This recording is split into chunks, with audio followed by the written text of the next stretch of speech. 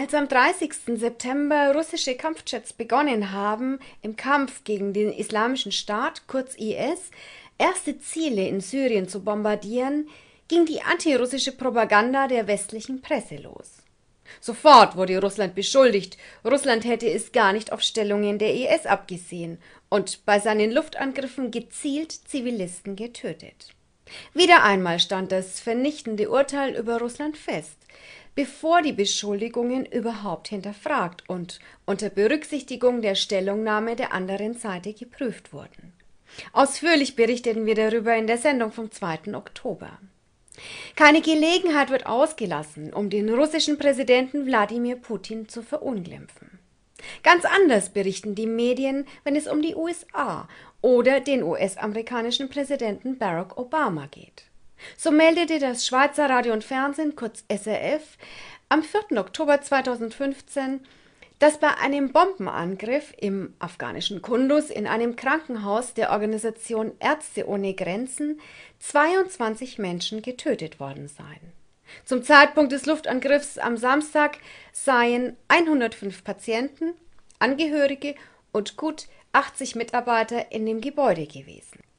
SRF sprach von einem mutmaßlichen US-Luftangriff. Die USA bestätigten Luftangriffe nahe der Klinik. Ziel seien Taliban-Kämpfer gewesen. In einer Erklärung der NATO war von einem möglichen Kollateralschaden die Rede. Der militärische Fachbegriff Kollateralschaden, auch Begleitschaden genannt, bezeichnet in der Umgebung eines Ziels entstehende, an sich unbeabsichtigte oder eventuell in Kauf genommene Schäden aller Art. Hier wird sehr deutlich, dass die Medien mit zweierlei Maß messen.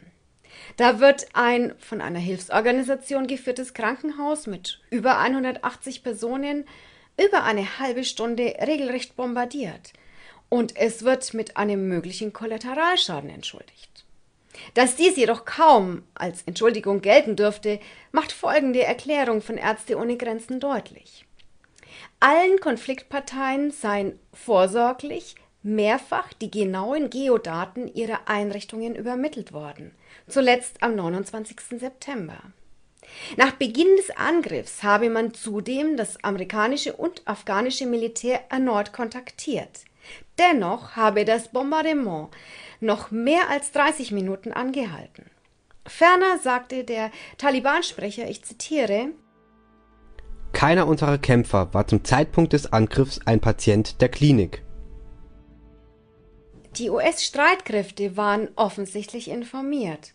Und rein technisch müsste es ein leichtes gewesen sein, die Bombardierung des Krankenhauses zu vermeiden.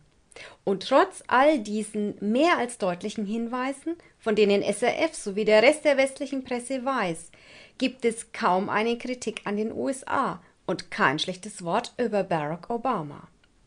Und es erfolgt schon gar keine Verurteilung, wie es die westlichen Medien auch mit weit weniger Indizien sehr wohl könnten. Dies zeigt das anfangs erwähnte Beispiel der Bombardierung Russlands auf Stellungen der IS. Ein weiteres Beispiel dieser einseitigen Berichterstattung der Medien unterstreicht der internationale Jugendkanal der Al Jazeera Mediengruppe, einem arabischen Nachrichtensender mit Hauptsitz in Katar. Dieser verglich die Beschuldigungen gegen Russland mit den Praktiken der USA.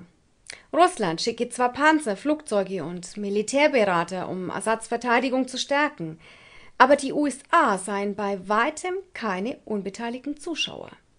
In den USA hergestellte Waffen würden massenweise in den Händen der IS und anderen Rebellengruppen landen.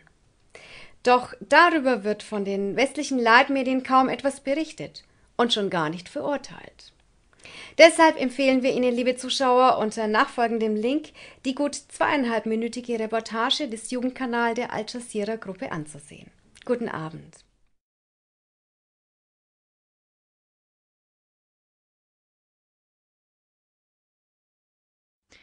Wochenlang wurde über mögliche russische Luftschläge in Syrien gegen die Terrororganisation Islamischer Staat kurz (IS) spekuliert. Am 30. September nun haben russische Kampfjets begonnen, erste Ziele in Syrien zu bombardieren. Gleichzeitig reagierte die westliche Presse mit antirussischer Propaganda. Sofort machte eine Meldung der Nachrichtenagentur Reuters die Runde, russische Jets hätten Stellungen der angeblich moderaten Rebellen in Homs angegriffen, statt die Terroristen des IS. Dabei wären 36 Zivilisten ums Leben gekommen, wie ein sogenannter Oppositionsführer mit Namen Khaled Kotscher behauptet haben soll. Übereinstimmend brachten die westlichen Leitmedien nun Zweifel an, ob Russland wirklich den IS angreifen oder seinen Partner Assad an der Macht halten wolle. Die Tötung von Zivilisten sei die Folge davon. Doch inwiefern sind diese Zweifel berechtigt? Wie zuverlässig sind die neuesten Anschuldigungen gegen Russland und was sagen die Gegenstimmen? Dazu nehmen wir in drei Schritten Stellung. Erstens. Grundsätzlich ist zum Kampf gegen den IS zu sagen, dass Russlands Eingreifen gegen die brutale Terrormiliz IS nicht verwundern kann werden doch seit über einem Jahr Luftangriffe der Anti-IS-Koalition unter der US-Führung auf Stellungen der IS geflogen. Jedoch ohne die geringsten Erfolge, wie selbst das Schweizer Radio und Fernsehen am 21. August ernüchternd feststellen musste. Ich zitiere US-Kampf gegen den IS läuft nicht nach Plan. Zitat Ende. In der Sendung vom 23. August diesen Jahres berichteten wir hier auf KlarTV ausführlich darüber, wie die US-Regierung vordergründig den IS bekämpft, um unbehelligt weiterhin daran zu arbeiten, Bashar al-Assad und seine Regierung zu schwächen und gänzlich zu beseitigen. Zweitens. Die Intervention von Russland in Syrien nannte Putin, ich zitiere, den einzigen Weg im Kampf gegen den internationalen Terrorismus. Zitat Ende. Zuerst muss festgestellt werden, dass Russlands Luftschläge gegen Stellungen der IS nicht gegen das Völkerrecht verstoßen. Das Völkerrecht lässt Anwendung von Gewalt auf dem Territorium eines fremden Staates unter drei Bedingungen zu. Erstens auf Beschluss des UN-Sicherheitsrats, zweitens als Selbstverteidigung. Und drittens auf Ersuchen der Behörden dieses Staates. Wie Maria Sacharowa, amtliche Sprecherin des russischen Außenministeriums, gegenüber Journalisten erklärte, bombardierte Russland IS-Stellungen in Syrien auf Ersuchen von Syriens Präsident Bashar al-Assad. Dieser habe Russland um militärische Hilfe gegen den IS gebeten. Auf der anderen Seite verstoße die von den USA geleitete Koalition, die ab September 2014 Luftangriffe auf IS-Stellungen in Syrien fliegt, gegen das Völkerrecht. Sie umgehe den UN-Sicherheitsrat, sei weder von Assad angefragt worden, noch koordiniere sie ihre Handlungen mit den syrischen Behörden. So Maria Sacharowa. Drittens. Nun folgen noch einige Gegenstimmen zu den neuesten Vorwürfen, Russland hätte es nicht auf Stellungen der IS abgesehen, sondern bei seinen Angriffen gezielt Zivilisten getötet die westlichen Medien berufen sich vor allem auf die der Opposition nahestehende Syrische Beobachtungsstelle für Menschenrechte mit Sitz in Großbritannien.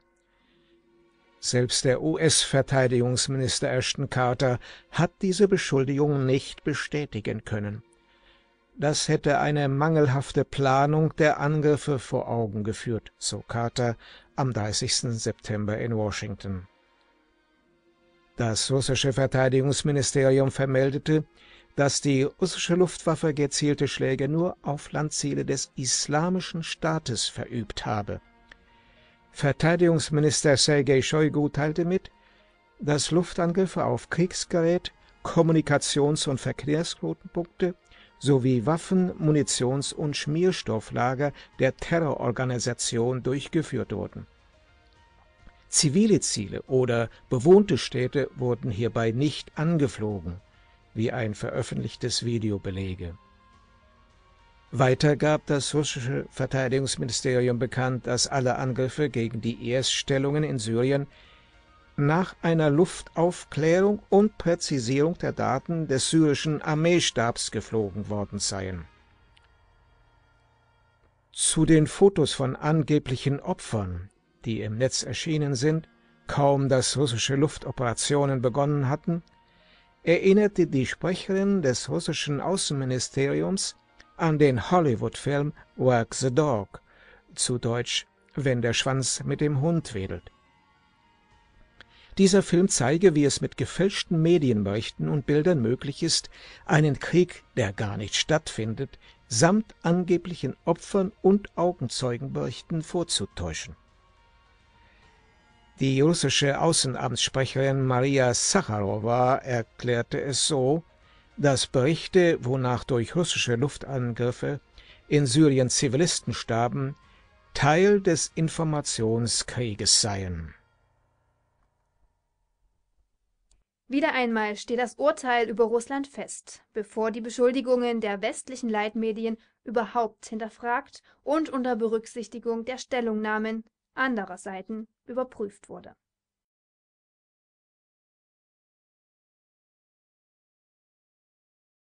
Haben auch Sie ein öffentliches Unrecht zu beklagen oder von einem Sieg zu berichten? Bleiben Sie damit nicht allein. Schreiben Sie noch heute an klagemauer.tv. Klagemauer TV. Nicht gläserne Bürger, gläserne Medien, Politiker und Finanzmogule brauchen wir.